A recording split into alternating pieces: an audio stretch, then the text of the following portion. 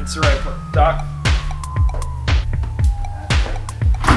Today, today on the show we have, and I know you're not going to believe this, Stink.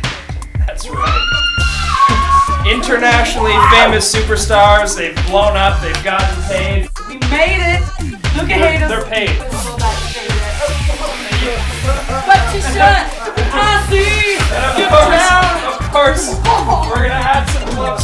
Just because they made it big, it doesn't mean they can't make their own food. Macaroni and cheese.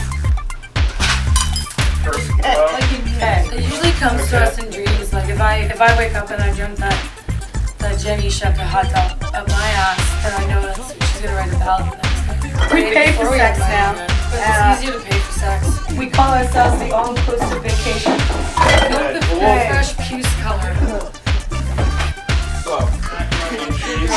Doctor. Good, it's a good thing we have a doctor. So look, see all the protein in there now? Okay, we're back outside enjoying the beautiful weather. We have the steaming macaroni and cheese with the hot dogs incised by Dr. To do This ready to eat right now.